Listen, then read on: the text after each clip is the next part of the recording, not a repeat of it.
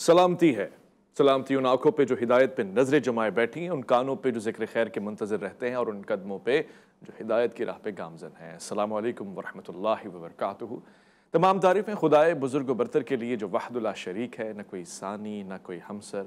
दरूद ला महदूद, महबूब रबुलवदूद राहतुल्लाशकीन मुरादुलमुश्ताकीन हज़रत मोहम्मद मुस्तफ़ा, आपकी आल पाक, आपके जानसार अंसार और असहाब पर। जरमन, आप देख रहे हैं अलिफ्लाम मीम मैं आपका मेज़बान।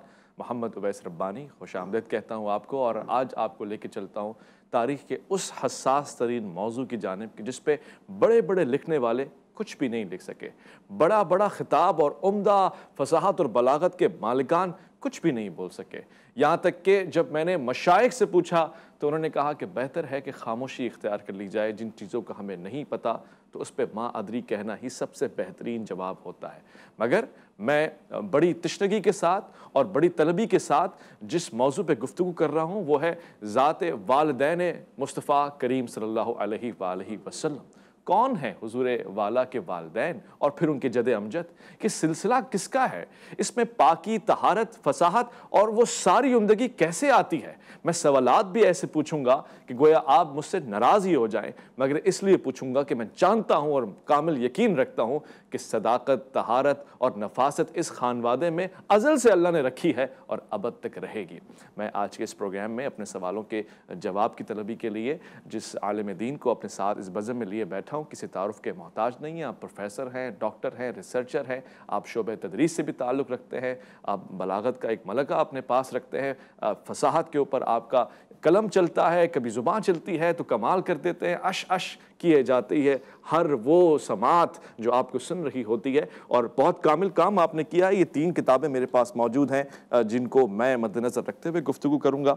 मैं खुश आमदद कहना चाहता हूँ, आज के इस प्रोग्राम में तशरीफ़ फरमाएँ, प्रोफेसर डॉक्टर हाफिज़ कारी, मोहम्मद सदाकत अली फरीदी। अल्लाम जी, बिस्मिल्लाह सबसे पहले, डॉक्टर साहब गुफ्तु मैं चाहता हूँ कि इस पैराए में हो। आपने कुरान अज़ीम और इसमत वालदेन मुस्तफ़ा सल्ला वसम कुरान और वजाहत वालदेन मुस्तफ़ा सल्ला वसलम और इसमत फ़ातिमा जहरा और कुरान अज़ीम किताब लिखी है। मैं कुरान अज़ीम ही के हवाले से सवाल पूछना चाहता हूँ। कि क्या ये ज़रूरी है कि हर मासूम या हर नबी के वालदेन पाक हों, तैयब हों, मुसलमान हों, साहिब ईमान हों, कभी बुत परस्ती ना की हो? मसलन कुछ लोग जनाब इब्राहिम की तरफ़ इशारा करते हैं और कहते हैं, वो जो आज़र हैं, गोया एक रिवायत या एक झलक ऐसी है कि चाचा है, मगर क्या ये कामिल बात है कि हर नबी के वालदेन और पूरा शजरा पाक और तैयब होगा? बसमीम शुक्रिया अवैस भाई। आज मेरे दिल की तार को आपने छेड़ा है। रसूलुल्लाह सल्लल्लाहु अलैहि वसल्लम के वालदेन का जो मामला है हमारे माहौल में इसको पस मंज़र में रखना अगरचे एक बहुत बड़ी महरूमी है। लेकिन मैं इसकी शनासाई आपके सामने पेश करता हूँ कि इनका सिर्फ़ तकदस माँ बाप की बुनियाद पर ही नहीं है। अच्छा। दरअसल ये नबुवत की दलील हैं। इनका इनकी हरमत किरदार और इनके अखलाक आलिया ही नबुवत की ताकत भी बने और दलील भी बने। कुफार मक्का ने हर तरफा तरफ़ से आपको टार्चर किया और कहा कि मजनून हैं फ़लाँ हैं फ़लाँ हैं नबूत भी चैलेंज कर दी और मोजात दिखा उन्होंने कहा इन हादा सहर मुबीन। हम्म।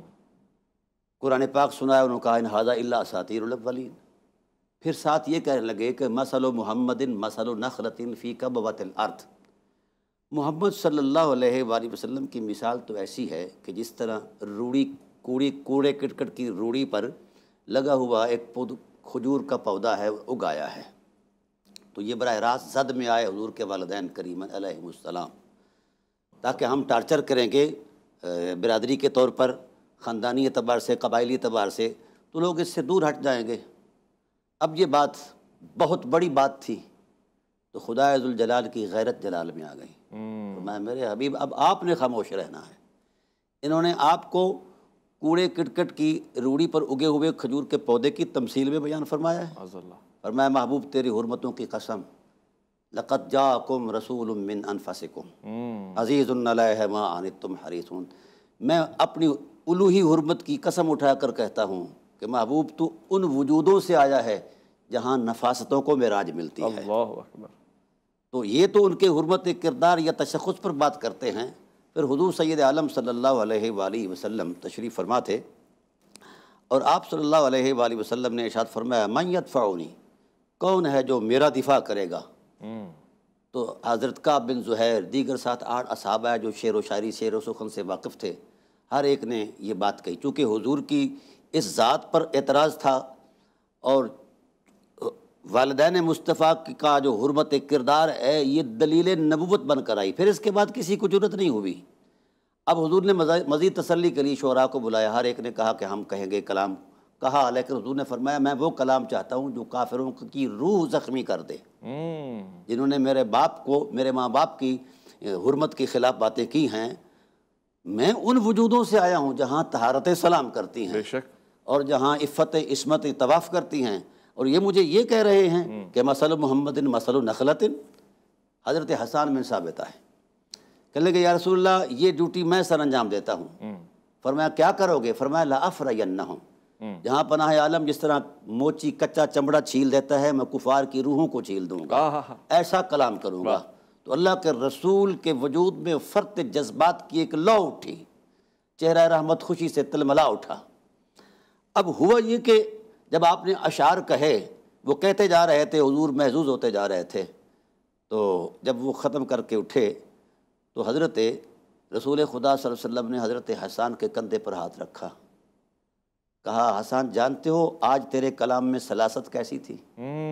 इन अल्लाह युद का बिजबरीलू इज़ा नाफ़ा व रसूल ही अल्लाह जिस वक्त तू कलाम कर रहा था अल्लाह ने जब्राइल को भेजा कि आज मेरे महबूब की माँ की हरमत को बयान कर रहा है ये हसान बाबा के तकदस को बयान कर रहा है हसान जाओ जब्राइल जहाँ ये रुकने लगे लुकमा दे दो वरना अपनी नूरी ज़बान से वाह वाह करते रहो दाद देते रहो। और फिर जो जुमले हैं हदीस के बड़े अजीब हैं और खुदा के आसमान से भी बड़े हैं। फरमा इज़ा नाफ़ा रसूल हसान तूने कोई छोटा काम नहीं किया। तूने मेरे माँ बाप की इज़्ज़त और तोक़ीर की हरबत को बयान करके सिर्फ़ यही नहीं कि मेरे साथ मोहब्बत का इजहार किया है। खुदाजलाल ने फरमाया कि मेरे महबूब तेरी हरमत के साथ इस हसान ने मेरी हरमत को भी बचाया है। हाँ, हाँ, हाँ। मेरा भी दिफा किया है।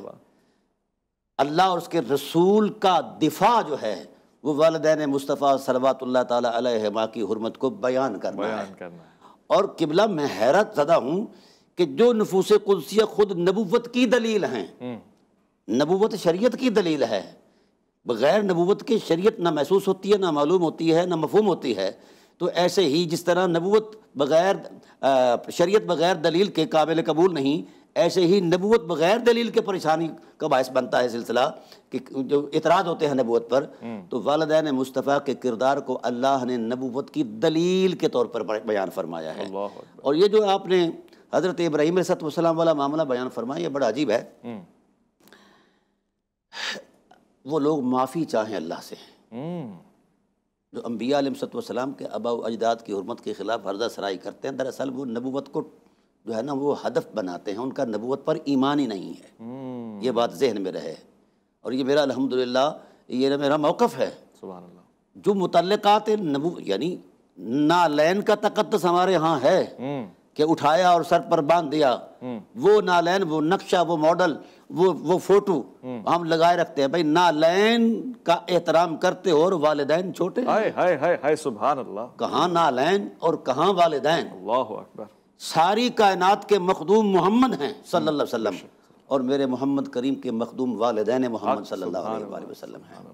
और ये वो मखदूम फरमाते हैं मैं इनकी खिदमत में इतना आगे चला जाऊँ कि मैं नबूवत वाली नमाज़ पढ़ते हुए मेरी माँ मुझे आवाज़ दे तो नबूवत वाली नमाज़ कुर्बान कर दूँ। इतनी बड़ी वाली नमाज़ पढ़ते हुए आपने बेशुमार खुतबे दिए हैं अपनी माँ की हरमत के लिए अपने बाबा के तकदस के लिए। उन खुतबों के तकदस में आपने कुरान की आयात भी बयान फरमाई हैं। हम्म। और ये ऐसा उनवान है खुदा करे मुसलमानों के का हिरज जान बन जाए खुदा करे तो मैं समझता हूँ कि उम्मत जो है ना इसका वक्त बेदार हो जाएगा। हम्म। मैं एक हदीस पेश करता हूँ आपको।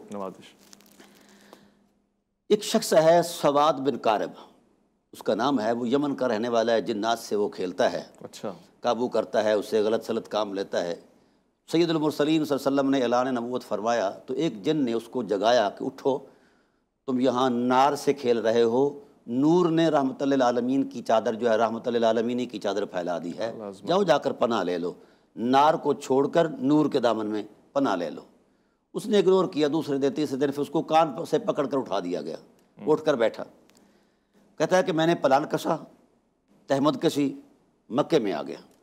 मैंने पूछा कि मोहम्मद वसल्लम कहाँ हैं? तो लोगों ने कहा कि इस वक्त वो अपने असहाब के साथ हर में काबा में होंगे। तो चूँकि मेरी शनासाई नहीं थी जान पहचान नहीं थी कोई अलग सलैक नहीं थी ना मैंने उनको देखा था ना उन्होंने मुझे देखा था। अब चूँकि एक वजह के आदमी थे चूँकि हजूर की सीरत का आला तरीन जो एक नज़म है वो ये है कि आपने ज़िंदगी में कभी प्रोटोकॉल नहीं लिया। अच्छा। हमेशा दिया है। अल्लाह ये सीरत का वो इम्तियाजी वस्फ है जहाँ नबूवत भी रश्क करती है। अल्लाह तो आप सल्लल्लाहु अलैहि वसल्लम ने बैठे हैं अपने असाब में एक वजह कता के लोग हैं। आप कोई भी कहीं से भी उसको नहीं मालूम कि मैं किसको अलैक सलैक के लिए मुखातब हो जाऊँ। अस्सलाम किस को कहूँ? अभी वो दाखिल हुआ चंद चंद कदम चला था। सोच रहा था कि मैं किस से मुखातब हूँ? कौन है मोहम्मद इनमें? तो अलैहि वसल्लम ने दोनों बाजू फैलाए। फरमाया मरहबम बिक या सवाद अबन कारबी। सवाद बिन कारब तू नहीं जानता मोहम्मद तो सब कुछ जानता है ना। तेरा नाम सवाद है तू कारब का बेटा है और तू फला जगह है और मुझे ये भी पता है तू क्यों आया है। और मुझे ये भी पता है तुझे किसने भेजा है। अल्लाह अकबर। वो तड़प गया। उसने कहा कि अभी तो इरादों में ख्याल तक भी नहीं आई चीज़ तो यू रसूल पैसे समझ गए। तो कहने लगा फिर यार रसूल अल्लाह अगर ये बात है ना है मोहम्मद तो फिर मेरे दिल में कुछ अरमान मचल रहे हैं। मैं चाहता हूँ कि शेर व सुखन की सूरत में आपको पेश कर दूँ। अल्लाह अब उसने कहा क्या? हम्म। अभी दावत नहीं मिली। कलमे की जनाब वाला उन तबलीग नहीं हुई। हम्म। वो कहता है अशद ला गैर रब्बी अन तमामून अला गायबी। मेरे हबीब तेरे हुसन की मलाहत मेरे सीने को मुनवर कर गई है। इतना हसीन वही हो सकता है जिसका पैदा करने वाला खुद ला शरीक हो। अल्लाह अशद गैर रब्बी मैं अपने रब के अलावा किसी को शरीक नहीं ठहराता किसी का। और मुझे ये भी यकीन आ गया है अन तमामून अला कुल्ल गायबी खुदा की कायनात में जितने गैब के ख़जाने हैं वो सारे समेट कर कुदरत ने आपकी झोली में रख दिए हैं। हम्म। अगला लफ्ज़ जोला बोला तो रिसालत को वजद आ गया। हम्म। फरमाया अंत अदना वसीर अलमुरसलीन अल्लाह यबन अकरमीन लताइबी हम्म। हर रसूल अपनी उम्मत का वसीला है और तू रसूलों से भी ज़्यादा करीब तर रसूलों का भी वसीला है। क्यों? तेरे पैकर की मलाहत हुस्न की लताफत एक पैगाम दे रही है जिसने मेरे सीने के सारे पर्दों को चीर कर रूह तक जा पहुँची है वो हकीकत। यबनल अक्रमीन अतायबी मेरा यकीन कहता है कि तू करीमों की औलाद है। सखियों की औलाद है। अल अतायबी तू अतयब और पाक तरीन लोगों की औलाद है। अल्लाह अकबर हकीकत तो पाक तरीन लोग अज अकरम जो है ये भी तफजील का सीगा है और अफ़अल के वज़न पर और अतयब भी है। जहाँ करामतें इख्ताम पजीर होती हैं वहाँ तेरी माँ का मकाम है। अल्लाह अकबर। जहाँ तहारतें मेराज पाती हैं वो तेरी माँ का मकाम है तेरे बाबा का मकाम है। इतना बात कहना था। हजूर सैद आलम को वजद हो गया। फ़र रसूल फ़रहन शदीदा असहाब बड़ा जुमला बोला सरकार ने। हजूर खुशी से इंतहा पर चले गए। असहाब रसूल भी खुशी से। तो जब देखा ना तो सैदना अबू बकर सिद्दीक रज़ी अल्लाह चूँकि मिजाज शनास रसूल थे तो उसने देख आपने देखा कि रहमत ठाठ में है। तो कंधे से पकड़कर सवाद से कहा देखता क्या है? रहमत ने सीना खोल दिया है लिपट जा। अल्लाह अकबर। वो लिपट गया हुजूर ने लिपट कर यूँ हिलाकर कहा अफलाह तया सवाद अब नकार भी तूने मेरी तूने मेरी माँ को अतयब कहा बाबा को अकरम कहा जा मैं भी तुझे दो इनाम देता हूँ इस दुनिया में भी तू कामयाब है और अगली दुनिया में भी तू कामयाब सुबहान अल्लाह सुबहान अल्लाह देखिए फलाह कहाँ है? और किस अंदाज से मिल रही है? वालदेन मोहम्मद मुस्तफ़ा सल्लल्लाहु अलैहि वालैहि वसल्लम की असमत बयां करने में मिल रही है। मैं एक मुख्तर से वफ़ा ले रहा हूँ मैं जब लौट कर आऊँगा मज़ीद दिलचस्प सवाल पूछूँगा आपका इंतज़ार रहेगा।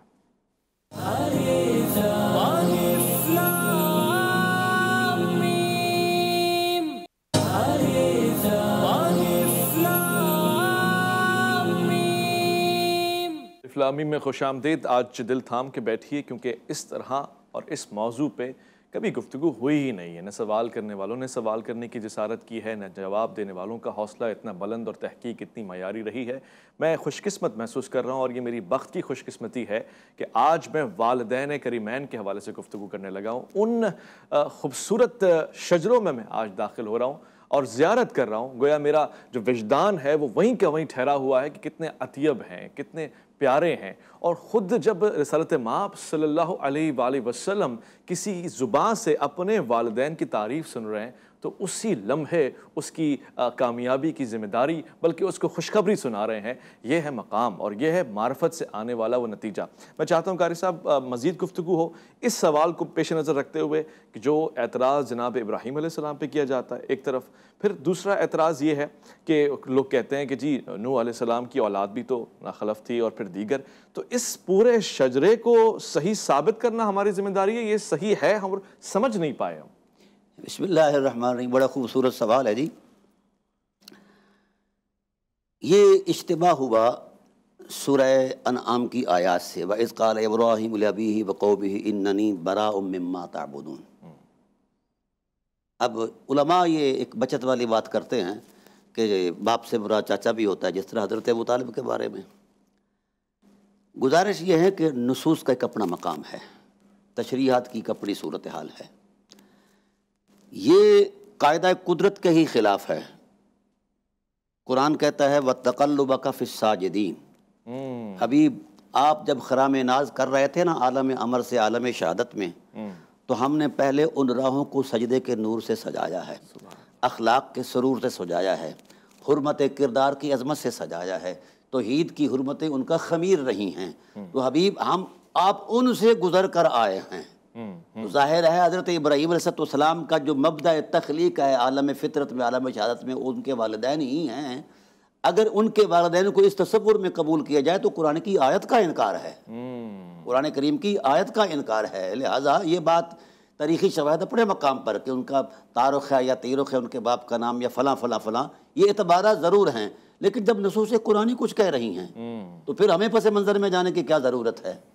देखिए इसी सूर ज़ुखरफ के अंदर अल्लाह ताला फरमाते हैं, नबी करीम सल्लल्लाहु अलैहि वसल्लम को बड़े खूबसूरत अंदाज में फ़रमाया कि मेरे हबीब, आप परेशान हैं लोगों के इस ऐसे मामला पर, आपको एक खुशखबरी सुनाऊँ?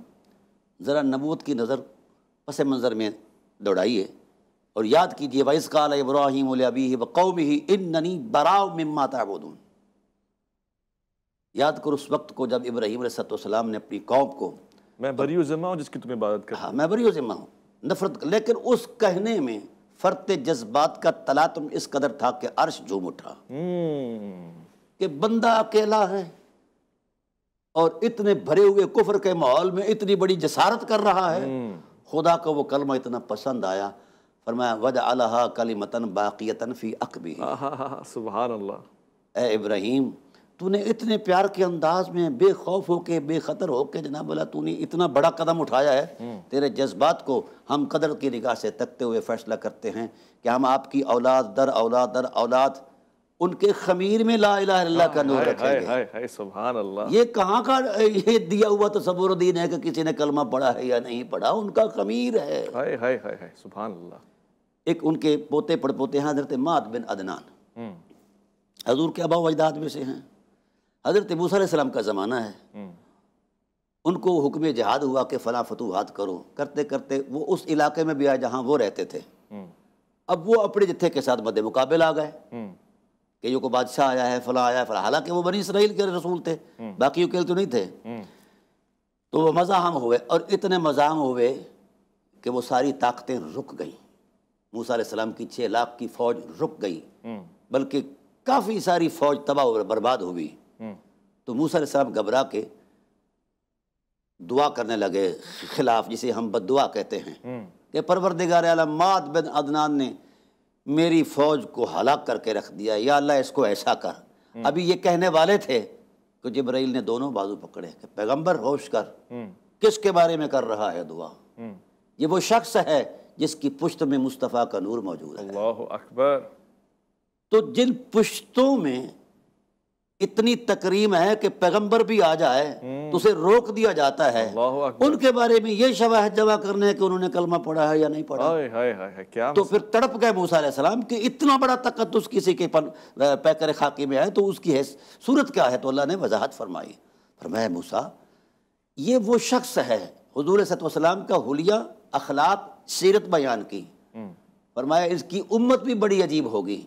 वो मेरे थोड़े रिज्क पर राज़ी हो जाएगी मैं उनकी थोड़ी इबादत पर राज़ी हो जाएगा तो ये वो हकायक हैं जिनको पस मंज़र में रखा गया है या किसी के मुताले में नहीं आए। हम्म, तो ये अलग बात है लेकिन ये अम्बिया वसलाम का मामला जो है ये कुरान करीम की नसूस से ये चीज़ें साबित हैं। अब आगे एक और मकाम पर जब काबतुल्ला की तमीर होती है तो वहाँ भी दोनों बाप बेटा से अल्लाह कहता है कि अब तुमने मेरा घर बनाया है कुछ मांगो।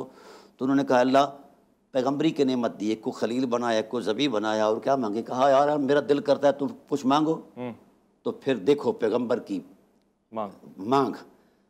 कहते हैं रब बना बदाल्ला मुस्लिम लक अगर देने पर तुल गया है तो फिर हमारी यही आरज़ू है कि जब तक हम ज़िंदा रहें तेरे हजूर झुके रहें। हाय हाय हाय हाय सुभान अल्लाह हमारी बंदगी तेरे हजूर रहे इज्जो न्याज के जो जमजमे हैं तेरे हजूर रहें। अल्लाह ने फरमाया ये तो पहले ही मौजूद है और मांगो। हम्म, ये मशीयत इलाही का मंजरनामा देखो। हम्म, ये जो तनव्वुआत है ना हमारे मौलाना साहबान के ये ये ख्यालात हैं हुजरा साज दीन है दीन इनसे कहीं दूर है। तो वो कहते हैं कि परवरदिगार आलम और क्या मांगे? आय हाय अल्लाह अकबर। उस वक्त फिर इल्का हुआ कि मुझसे आबाए मोहम्मद की हुर्मत मांगो। अल्लाह अकबर आबाए मोहम्मद की हरमत। फिर उन्होंने कहा वमिन ज़ुर्रियतिना उम्मता मुस्लिमतल्लक। हमारी औलाद का भी कुछ हिस्सा ऐसा हो जो मुसलसल इसी तसलसल के साथ। जिस तरह हम रहें तेरे हुजूर सर बसजूद रहें गर्दनें झुकी रहें न्याजमंदियों का तसलसल जारी रहे वो भी न्याजमंदियों और वो न्याजमंदियों मंदियाँ इस हाल तक पहुँचें कि तेरी कबूलियत उन्हें कबूल करे और तेरी कबूलियत के वो बोसे लें। जब कबूलियत और वो न्याजमंदियाँ मिल जाएँ वबास फ़ी हम रसूला उनमें से शान वाला रसूल अल्लाह अकबर सुबहान अल्लाह एक मुख्तर से वफ़ा में लेने लगा हूँ। बात को समझने के लिए मज़ीद आसान करने के लिए ये मकाम और दर्जात हैं। तो अभी राह गुज़र में है कैद व मकाम से गुज़र मिस्र व हिजाज से गुज़र पारस व शाम से गुज़र। और तेरी नमाज़ बेहुजूर तेरा इमाम बेहुजूर तेरी नमाज़ बेसरूर ऐसी नमाज़ से गुज़र ऐसे इमाम से गुज़र। मुख्तर से वफ़ा इफ्लामी में आपका इंतज़ार है।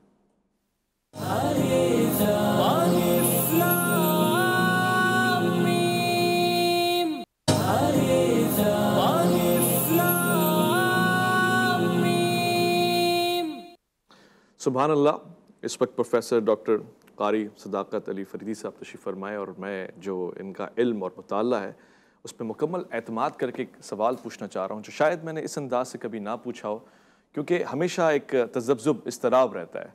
कारी साहब, हज़रत अबू तालब लोग यानी रिवायात पेश कर देते हैं कि भाई, फ़लाँ हदीस में मौजूद है, वो जहन्नुम, वो आग, वो पाँव, ये सब इन तमाम चीज़ों को कैसे क़त नज़र रखा जाए और कैसे उनकी फसाद और कैसे उनकी असमत को बयान किया जाए? हज़रत अबू तालिब वाला मामला जो है, वो तो तय हो चुका है, अल्हम्दुलिल्लाह, फ़कीर ने साढ़े बारह हज़ार सफ़ात पर उनकी हुरमत का तसव्वुर पेश किया है और वह भी कुरान की आयात की रोशनी में। ये सब कुछ एक साजिश के तौर पर हुरमत अबू तालिब को पस मंज़र में रखने के लिए और उनके वो अजीमत माप, जज्बे जो दीन की ताकत बने हैं, उनको पस मंज़र में रखने के लिए एक साजिश है। इसके अलावा इसकी कोई दीनी अखलाकी रूहानी हकीकत नहीं है। ये जो मसलन एफ़ आई आर का मतन ये है जो काटी गई है बोगस एफ़ आई आर हज़रत अबू अलैहिस्सलाम पर। वो मतन ये बनाया गया है कि आखिरी वक़्त में सरकार सल्लल्लाहु अलैहि वसल्लम जो थे उनको कलमे की दावत दे रहे थे। तो साथ अबू जहल बैठा था उमैया बिन खलफ बैठा था उन्होंने कहा अतरकब अमिलत आबा एक अपने आबा अजदाद की दीन से रोक हट जाओगे। तो उन्होंने कहा नहीं अना मिलत अला आबा अपने आबा अजदाद के मिलत पर हूँ वगैरह तो हजूर ने कहा कि मैं जनाब वाला आप तक आपके लिए दुआ मगफरत करता रहूँगा जब तक कि मैं रोक नहीं दिया जाता। ये उस एफ़ आई आर का मतन है। फिर आयत आ गई जी नबी की शान के लायक ही नहीं है कि जनाब नबी किसी मुशरक के लिए दुआ मगफरत करेगा चाहे उसका करीबी ही क्यों ना हो। ये है उस आयत का और फिर इन कलाता हदीमन अहबता ये कायनात का बदतरीन झूठ है। मैं एलानिया आपके वसात से पूरी इंसानियत के लिए मुसलमानों के लिए कह रहा हूँ मैंने टाइटल पर लिखा है। बदतरीन झूठ है। हज़रत अबू तालिब की ज़ात पर लगाया जाने वाला ये कुफ्र और शिरक का बहतान कायनात का बदतरीन झूठ है। इससे बड़ा झूठ हो ही नहीं सकता। उसकी वजह। वजह। पहली बात तो यही है कि जिस शख्स ने इसे रिवायत किया है वो ना वहाँ मौजूद है ना उसका निशान मिलता है। अच्छा। हाँ जी। इक्कीस साल बाद वो इस्लाम लाता है। बत्तीस साल बाद अपने बेटे को बताता है। ओहो। दो जो आयतें मिलाई हैं उसमें दोनों आयतों के नजूल के दरमियान चौदह साल का फासला है। शान नजूल ही अलग है। हाँ शान नजूल। दोनों का शान नजूल ही अलग है। अल्लाह अकबर। ना महल कलाम इलाही में चीज़ मकसूद है और ना नज़म नस के अंदर ये चीज़ मौजूद है ना रबत कलाम इलाही में कोई ऐसा चीज़ें मकसूद है। ये रिवायतें गढ़ी हुई जोड़ी गई और इनके साथ नथी कर दी गई। अब मैं आपसे अर्ज़ करता हूँ दस सन नबवी तक ये जो सिलसिला बना है दस सन नबवी को जनाब अबू तालब का विशाल होता है। अब दस सन नबवी को विशाल हो जाता है वहाँ ये एफ़ आई आर बनाई जाती है। ठीक है? हैरत है अभी नजूल कुरान को उस आयत को जिससे मुतलक जोड़ी गई है उसको अभी तेरह साल बाकी हैं। अल्लाह अकबर। ठीक है? तेरह साल बाद और फिर जिस कंटेस्ट में वो नाजिल हुई है वो बड़ा अजीब है। वो कुफार मक्का की बदअहदियों पर बाई सोशल बाइकाट के कंटेस्ट में नाजिल की गई है कि भाई ये ये बदअहद हो गए हैं अब नक्श अमन पैदा करते हैं इनसे जनाब वाला बेजारी का ऐलान कर दो। और ये अल्लाह के गज़ब का इजहार है। इसका आगाज़ भी बगैर बिस्मिल्लाह के है इस सूरत का। हर सूरत के शुरू में बिस्मिल्लाह इसके अंदर नहीं है। और मैं बरा तो मिन अल्लाह है व रसूली। आगे है व इन नकसु ईमान मिम्बाद आदिम व तानुफ़ी दीन कुम फ़कातिल आमतलकुफ़र इन ला ईमान लहम यंतहूँ बदअहद का कोई अहद पैमान नहीं है कोई माहदा नहीं है। तो इस तसलसल तसलसल को बयान करते हुए फिर आगे चले गए कि किसी इस इनके लिए कोई भी हमदर्दी का जज्बा महबूब आपके दिल में नहीं होना चाहिए क्योंकि बदअहद हैं। अब नाजिल हुआ है ये नौ सन्नी हिजरी के बाद गजबा तबूक के बाद। अल्लाह वकूबा है वफात अबी तालब का दस सन नबवी का दरमियान में साढ़े बारह साल पौने तेरह साल का फासला है। अल्लाह और जो दूसरी आयत जोड़ी गई है वो सात सन नबवी से पहले यानी छः सन नबवी को हजरी नबवी को। अच्छा। हाँ पहले सूरह हजर नादिल हुई फिर उसके बाद ये नादिल हुई सूरह नाम के बाद ये नादिल हुई। और ड्रामा देखो कि उसका मतलब और मुद्दा ही कुछ और है। किसी आने वाले सफ़ीर को आपने दावत दी तो उसने कहा कि मैं किसी कौम का सफ़ीर हूँ मशवरा करके फिर इस्लाम कबूल करूँगा। तो अल्लाह ताला की जात ने उसके जवाब में ये फरमाई न कला तहदीमन आहबाबता वहाँ सफ़ीर को उठाया हज़रत अबू तालब सलाम को जड़ दिया है। ये कयामत खेज मनाजर है। नहीं हिदायत दे सकते वहाँ के जुमला वहाँ जोड़ दी हाँ हमें ये डराया जाता है कि फ़लाँ इमाम ये कहता है फ़लाँ इमाम ये कहता है फ़लाँ इमाम। हमें इमामों से डराया जाता है। नसूस कुरान के मद्द मुकाबिल किसी इमाम की क्या हैसियत है? अल्लाह अकबर। जब नसूस कुरान नहीं इस महल को कबूल कर फिर इनका किरदार यानी हज़रत अबू तालब सलाम का किरदार मसलन इससे पहली आयत है। ए, चार सन्नी नबवी को नादिल हुई है। फसदा बिमा तो अमर व आरद अनिल मुशरकिन। हबीब अब खुल के बयान करो ला इलाहा इल्लल्लाह की हुरमत को और जिस जिस मन में शिरक देखो उससे दूरी कर लो। अब चार सन नबवी से लेकर दस सन नबवी तक वजूद पैगंबर पैवस्त रहा। किसके साथ? अबू तालब सलाम के साथ। हाय हाय तो खुदा को इतना ही नहीं चेताया कि यार ये भी मुशरक है। अल्लाह अकबर। और फिर इससे बड़ी बात ये तौबा करे उम्मत। अगर मैं काजी होता तो शायद इनके कत्ल का फतवा देता। अल्लाह अकबर। इतनी बड़ी हरमत को पमाल करते हैं। अब कुरान ये कहता है कि मेरे हबीब देखो ना ये मकामात है ना सानिया माफिलगार इद यकूर साहिबी ये हुरमत है ना हज़रत सैद सिद्दीक अकबर की। यहाँ इस नस में सोबत और मैत का तस्वर है। इससे ऊपर भी एक मकाम है। वो मकाम है नफ्स रसूल होना। व अनफुसना व अनफुसकुम। हाँ, हाँ, हाँ। इससे ऊपर भी एक मकाम है। वो ये है कि मेरे हबीब लोग सोहबत इख्तियार करके सहाबी के टाइटल में आते हैं। भाई जो हजूर की सोहबत इख्तियार करे वो सहाबी और जिसकी सोहबत में खुद मुस्तफ़ा पचास साल रहे अल्लाह अकबर। वो क्या होगा? अच्छा अब कुरान करीम ने हो सकता है कि कोई शख्स ये कहे कि मेरी जज्बाती कलमात हैं ये फ़र्त अकीदत है ऐसा नहीं तहकीक का तालब इलम हर चीज़ जाँच कर। अच्छा। हाँ ऐसे नहीं है अल्हम्दुलिल्लाह पूरे रूबे ज़मीन पर अब ये फैलाव है और उर्स अबू तालब हो रहे हैं। मैं हैरत ज़दा हूँ कुरान कहता है कि अरे हबीब अलम यजिद का यतीमन फावा।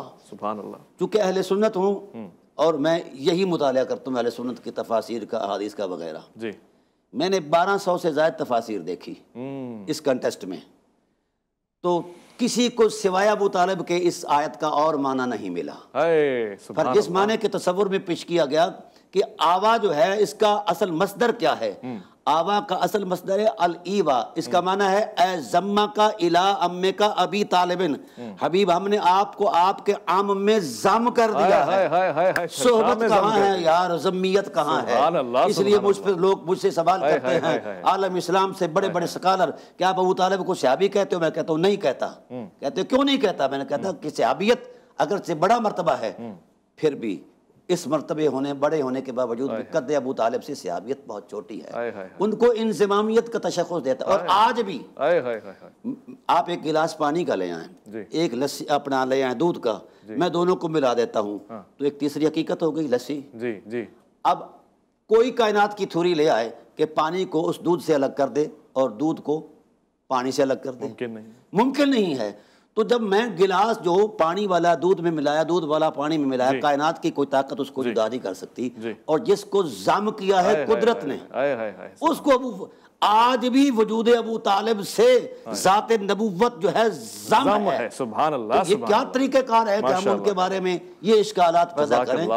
मैं मैं इस बारे में सिर्फ़ इतना कहूँगा मुझे नहीं पता कि वक्त दामन में कितनी गुंजाइश है। उम्मत ने अगर उम्मत बनना है तो बू तलबी हो जाए। हाय हाय है भू तलबी हो जाए। वाह। उम्मत ने अगर आफियत के दामन में आना है तो रसूलुल्लाह की माँ की दहलीज पर सजदा करे। सर रखे। सलाम है। रसूलुल्लाह के वालद गरामी पर। बेशक ऐसे। क्योंकि मैंने वहाँ जो खैर देखी है ये तो किताबी अल्फाज हैं जो मैं बोल रहा हूँ। या मेरी किताब के हैं या मैं कहीं से लिए हैं जो मैंने आँखों से देखा है उनका मकाम। वो किताबों से कहीं बुलंद है। इसलिए मैंने इन नफूस कुदसिया को हज़रत अबू तालिब अलैहिस्सलाम को न कभी शिया रिवायात में देखा है न कभी सुन्नी रिवायात में देखा है।